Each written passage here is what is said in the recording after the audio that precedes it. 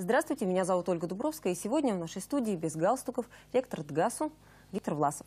Добрый вечер. Добрый вечер. А, Виктор Алексеевич, свое ректорство вы начали с реконструкции третьего красного, самого красивого корпуса. А Его строили Лыгин и Крючков, известные томские архитекторы. Как вам кажется, а кто из современных э, студентов, современных архитекторов, может быть, войдет в историю Томска, Томска-архитектурного?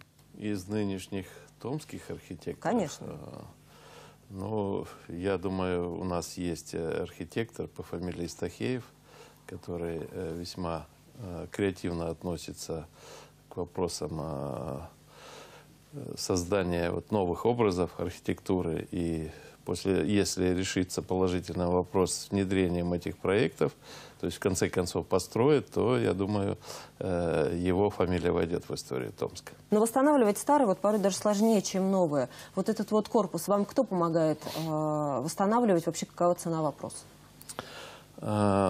У нас есть проект, э, он утвержден, э, вернее, прошел экспертизу, и мы направили этот проект э, в Министерство культуры, так как это здание относится к историческому наследию города Томска, и мы надеялись, что в этом году будут выделены средства. Это немалое средство, это, ну, как, относительно немало, 140 миллионов мы оценили весь этот проект. Э, Вот. э, Но пока вопрос решается, и э, у меня нет еще решения, что выделены средства в нашу пользу. Но мы начали сами своими силами это делать, и мы сейчас делаем второй этаж, где будет зал славы и новое помещение для ректората, куда, надеюсь, вот с 1 января переедет уже работать ректорат. Там играет ансамбль на площади э, вот Соляной уже э, восстановлено э, здание, которое спроектировали эти архитекторы. Это нынешний областной суд. Он полностью отреставрирован. Прекрасное, красивое помещение. Вот примерно такое же мы хотим сделать на другой стороне площади. И вот ансамбль тогда это заиграет. И это еще украсит город Томск, еще одно место. Вы уже признались, что у вас есть еще одна мечта, это чтобы а, студенты, ваши студенты э, построили в городе что-то такое, чтобы тоже вошло в архитектурную, в в архитектурную историю, может быть, не только Томска, но и России. Вот по- расскажите точнее, э, о чем вы мечтаете, что это должно быть за здание, что за проект? Это может быть э, проект э, какого-либо сооружения не типового. То есть это функционально оно э, не должно рассчитывать, рассчитано быть на, ну так, ширпотреб есть такое выражение. Это какой-то объект, который носил бы определенный функционал. Ну, к примеру, музей науки и техники вот сейчас э, Обсуждается. обсуждается активно, да. этот вопрос. К ГАСу вернулся работать э, главный архитектор Томска э, Владимир Коренев. Вы его позвали, сам он к вам вернулся, с каким настроением он к вам вернулся? Это обоюдное решение. То есть я предложил в случае, если возникнет кадровые какие-то перемены в мэрии, я предложил, что есть хорошее место работы, перспективное. э, Это возглавить э, региональный проектный институт. Это проект номер один э, в нашем университете. Этот институт должен был возглавить лидер, который бы потянул его, вывел на какие-то новые высоты. И самое главное, чтобы за счет этого проекта наш университет был полезен Томской области. Вот э, Владимир Иннокенович именно такой человек. Это практическая работа. И как он говорит, что я сейчас буду заниматься практической работой, в том числе теми проектами, которые он разрабатывал, э, Будучи будучи э, архитектором, главным архитектором города Томска. Вы вообще э, как оцениваете внешний облик, архитектурный облик Томска? Он вам нравится? Я считаю, Томск – это один из самых красивейших э, городов э, за Уралом. Я считаю, более красивого города нет. Именно его историческая часть и главное сочетание вот этой архитектуры э, позапрошлого века, будем говорить, современной. И вот я ставлю задачу, чтобы современные здания, пусть не типовые, которые, где массовая застройка, а вот именно индивидуальные, над которыми мы сейчас начинаем работать, они были бы интересны и с точки зрения архитектуры. А про деревянное зодчество вы что думаете? Как вам кажется? Что с ним делать? Ваша позиция? Вообще деревянным зодчеством я лично восторгаюсь. Э, То есть те терема, которые вот построили купцы, э, безусловно, нужно сохранять. Это достояние города Томска. Это э, действительно изюминка, та изюминка, которая удивляет и нас, томичей, когда мы рядом проходим, и наших гостей. Вот все иностранные гости э, приезжают в университет, там, на предприятие, ну, к нам постоянно приезжают. И вы Мы- их сами туда же и водите, Да, мы, мы туда же их Татарскую водим. слободу. Да, да. Мы водим по этим точкам, они все восторгаются. Мы дарим потом альбомы э, с тем же деревянным зодчеством, и это им нравится. Это действительно достояние, и нужно его беречь. Ваш коллега, ректор госуниверситета Эдуард Голожинский, а, представлял проект «Город-университет». Это проект реконструкции университетского комплекса, ну, который почти полгорода охватывает. Делали его французские архитекторы.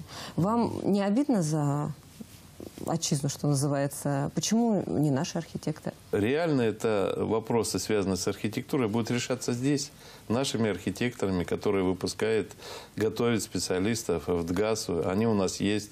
Я уже говорил, что архитектурное бюро я создал, оно работает. И я думаю, ничем не хуже будет, э, чем те проекты, которые э, строятся, вернее, ну, созидаются в других странах. Еще один глобальный проект – это Томские набережные. В нем ваши специалисты участвуют?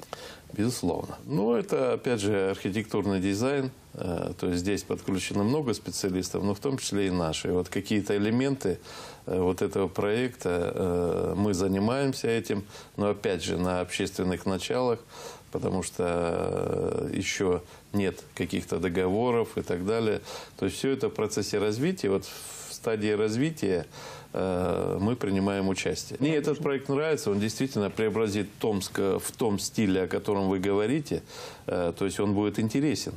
Вот эта часть, это, это часть исторического э, города Томска, и она будет прекрасна. Ну, а вам не кажется, что вот эти все масштабные проекты – это такие все равно несбыточные мечты, которые Томску, на самом деле, не очень по карману? Потому что ну, много всяких проектов уже э, заявлялось, но их крайне сложно реализовать в полном объеме, чтобы это было так красиво, как на бумаге. Э, Вы знаете, Ольга, э, все дела начинаются с мечты.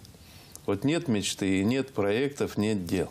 В других городах-то не сидят люди, сложа руки. Да. Возьмите, какая набережная в Красноярске, э, как развивается интенсивно Новосибирск Да. и так далее. Томск не должен отставать, ин- иначе мы действительно превратимся в обычный провинциальный город. В Новосибирске лучше дороги, чем в Томске, я это отмечаю, как автомобилист.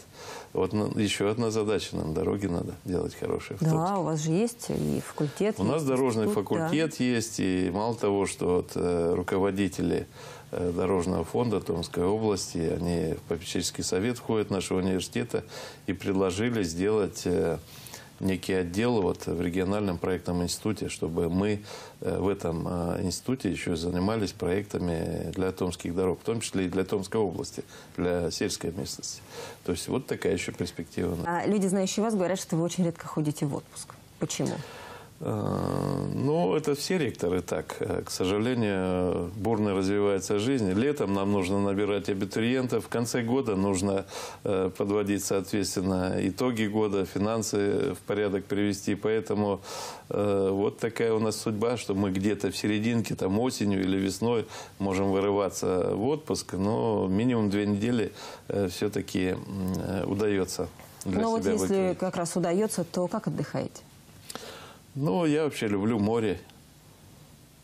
Светлое такое чистое море с песком, пальмами. Если вырваться не удалось к морю с песком и с пальмами, то в Томске.